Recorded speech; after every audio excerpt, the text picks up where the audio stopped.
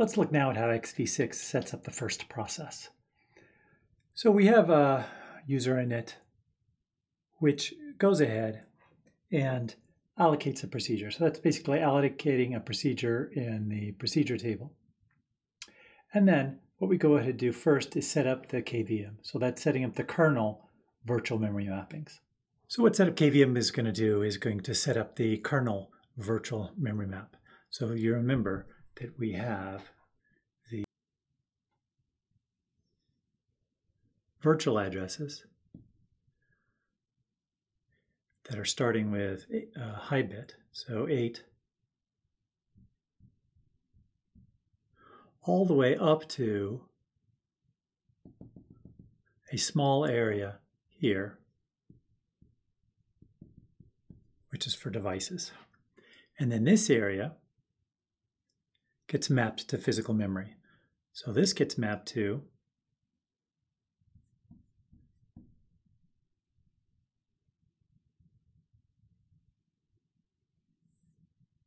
physical addresses from zero, just shy of 8000.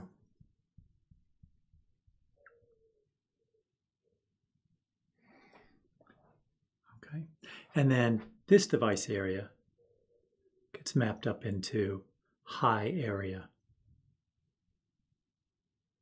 of physical address space.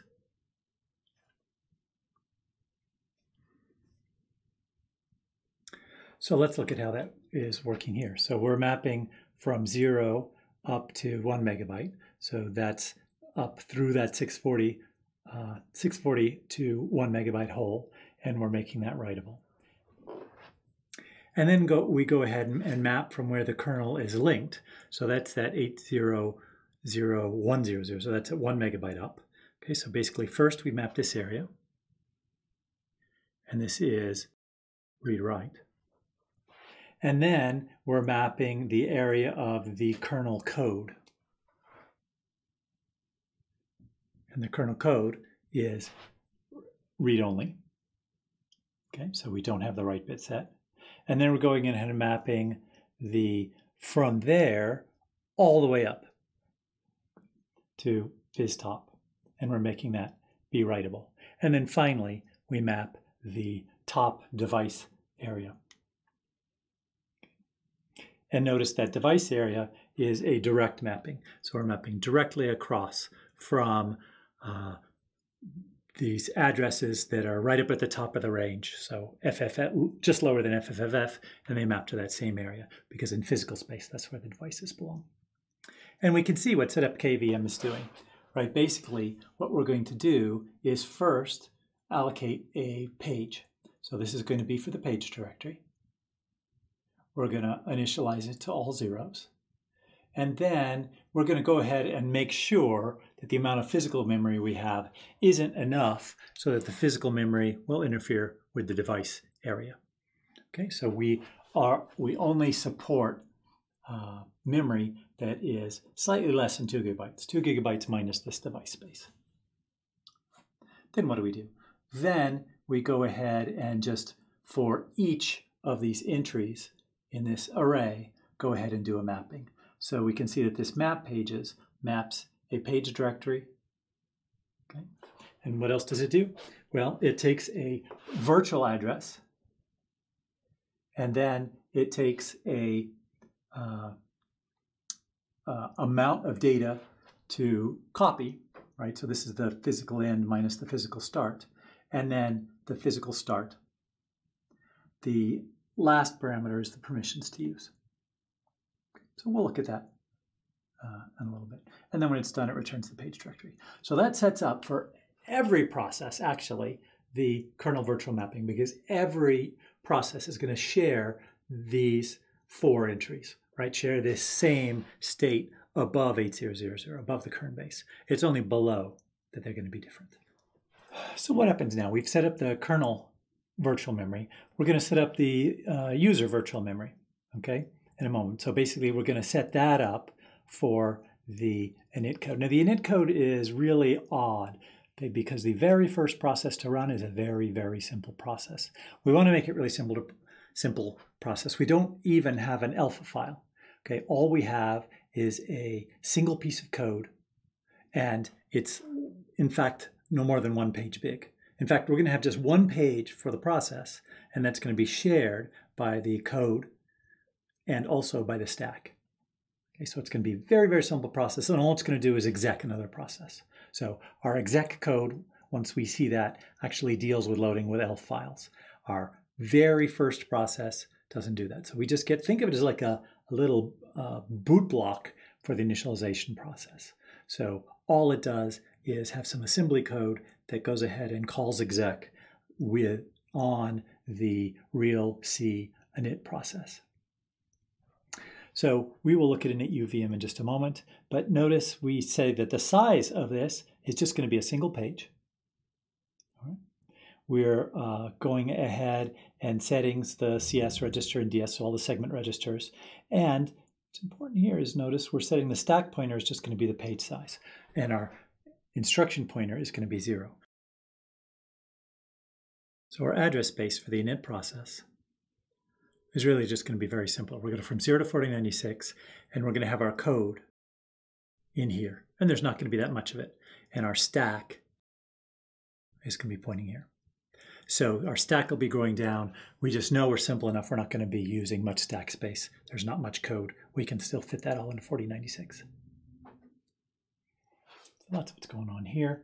And then let's go ahead and take a look at init UVM. So init UVM is really fairly simple.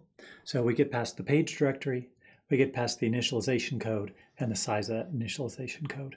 And what we do is just verify that we in fact don't have more than one page, and then go ahead and allocate a page of memory. So kalloc is what's used in the xv6 kernel to allocate a page of memory.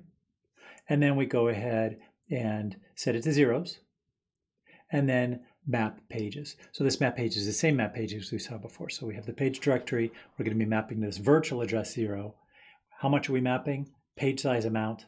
Where are we mapping it to? That is, what physical memory is it starting at? Well, it's whatever this virtual virtual address is that kalloc returned us. And we're going to go ahead and convert that to a physical address. What are the permissions we want to use? Well, we want it to be writable. Well, there, there's code there. That's not we don't need that to be writable. We definitely need the stack to be writable. So that's why we make that entire page writable and we're just sharing it between code and stack. And we also need it to be uh, accessible in user mode. So then we actually copy over the initialization code into that page. So what happens when we're actually going to be doing a context switch, right? So this is the context switch code that says, okay, we want to go ahead and switch over into the virtual memory of this other process. Okay, so what are we going to do? Well, we're going to first make sure, okay, we have a process. It has a kernel stack, uh, that the uh, it has a page directory, and then we're going to go ahead and deal with uh, just dealing with interrupts for a moment. Uh, we're setting some descriptor tables. The important thing to do here is we're going to go ahead and load CR3. Load CR3 gives us the assembly code that actually will go in and set the CR3 to this. So this is, sets it to the page directory of the process. Once we've set the CR3 register, we can actually see the mapping. So what this shows in QEMU is command you can type. So by the way, to get into this uh, command mode of QEMU, it's Control A C, and that'll take you into this little console mode where you can do QEMU commands, and Control A C will take you back out. So we've done a control AC, and then we did an info page. So in our version of QEMU, we have added this. Read Regis is we have a, a range of addresses starting at 8000 and going all the way to 803FF. Okay, so these are the page numbers, and these would be the uh, entries with flags, as you can see. So it's been accessed, it's user mode, it's writable, and present. And so this shows the uh, larger structure of this. And then we can look in and see the actual mappings. So we see here the mappings. So, so there's uh, some uh, items alighted here, but 115 to 803FF is mapped to these physical pages. So 115 to 3FF. So you can see here the fact that on XV6, you can map a physical page number to a virtual page number just by adding uh, an 80 or subtracting an 80. We can see we're writable uh, for this area. Let's look at these. So these ones are mapped for, this is the device IO space. And so this is a direct mapping from those virtual addresses to the physical addresses, physical page numbers here. After we have loaded CR3, we can see that we also have uh, yet one more mapping. So we're doing this mapping from, we see here the address range from 0 to 3FFF, and that is now the pages from 0 to 0, right? So we've basically got a page, page descriptor index of 0, a page table index of 0, and this is the mapped physical page. So why this page? That's the page that we k-alloc. So that was just the next available alloc page. And let's just look uh, for at a couple of other routines. So map pages we saw the use of. How does that actually work? Well, what we're going to do, again, page directory, the virtual address, the size, the physical address, and then the permissions. So what we're going to do is go ahead, first off, this virtual address that gets passed in may not be page aligned. And we know that our pages have to be page aligned. So we're going to go ahead and round this down. So we want the page that contains this address. So that's the round down that we'll do here. And so the last page is going to be, we're going to take the virtual address plus the size minus one, and then that's the page that we want to be on. So we'll, the last will be the last inclusive address. And then we'll just go through and what are we going to do? Well, walk page dir, its responsibilities take a page directory, an address, uh, and in this case, this parameter says go ahead and create a page table entry if no, if there isn't one already, and it will return a pointer to the page table entry. So this will return a pointer to the page table entry for this address, given that this is the page directory. And then we'll go ahead and uh, make sure or verify whether there's a page table entry there or not. That is, is it, is it valid or not? So if there's already a page table entry set that it's present, that's a problem. So we'll just panic, which kills the kernel. Otherwise, what we'll do is we'll take the permissions okay, that uh, were passed in, we'll add in the p bit to say that it's present, and then we will go ahead and or in the physical address. Since this has been rounded down to a page boundary, we know that the bottom 12 bits are zero. So we can just OR these in. So this updates the page table entry, but we have more page table entries to go. So what we'll do is figure out, did we already get to the last page? If not, if so, we're done. If not, we're going to go ahead and increment both the uh, address that we are the virtual address that we're mapping and also the physical address that we're mapping. How does walk work? So again, walk takes an address, returns the associated page table entry, a pointer to the associated page table entry, uh, and it also has a boolean which says whether to allocate or not. That is, if remember this is a two-level page table, so if there's no page table at that spot, then if alloc is true, it'll go ahead and allocate it for it. So what are we going to do?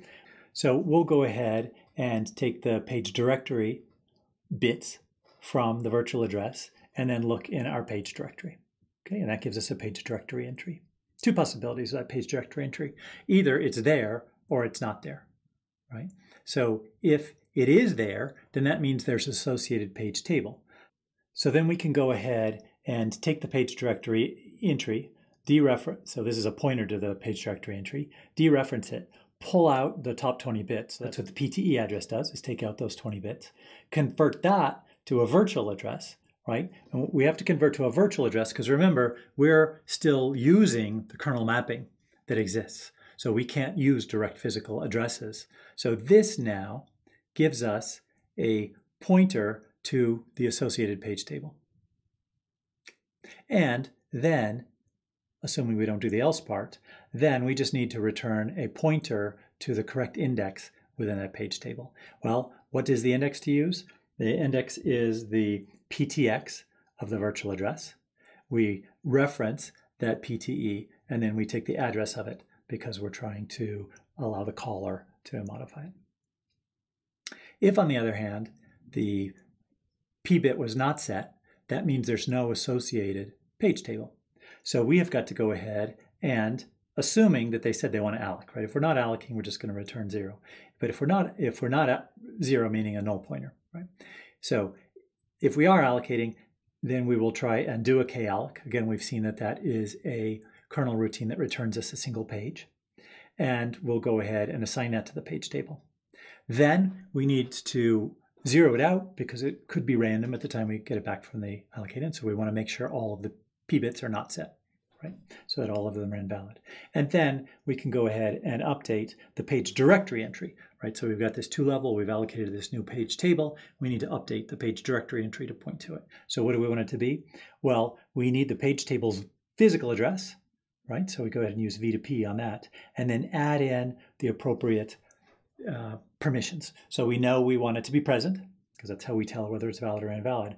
We're going to go ahead and say it's writable and it's user uh, usable in user mode as well.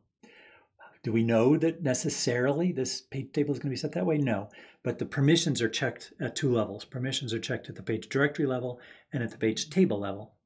Uh, and we go ahead and kind of leave them wide open at the page directory level and have them fine grained at the page table level. So we set them like this, and then we return. You may find something like this from XV6 can be useful when you're doing your JOS code. So feel free to uh, use XV6 as an example of particular types of code. Given the fact, for instance, they're using the same kinds of page tables, this, this can be handy and there are some similarities especially given it was written by some of the same people.